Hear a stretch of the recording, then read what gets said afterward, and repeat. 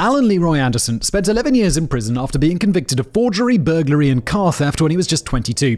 He was released on parole and went to live in a halfway house in Seattle on the 1st of June 1976. Two weeks later, he had an argument with one of the other residents, stole a car that belonged to the director of the halfway house, and left town. He stole a 22 caliber Colt Frontier revolver from a house in Red River County, Texas, robbed, shot, and killed his first victim in her antique store in Wisconsin on the 6th of August, and then it just went even further downhill. By the time the police captured him in Malibu on the 28th of October, he'd committed robberies in 20 different states and had shot and killed eight people, claiming that if a person is dead, he can't be a very good witness. After his arrest, Anderson agreed to confess to the murder of the 16 year old Wayne Stickley, whom he'd shot while robbing a convenience store in Northfield, Minnesota, in order to escape the death penalty in California. He was given life in prison after pleading guilty to two of the murders and is currently imprisoned at Stillwater Prison in Bayport.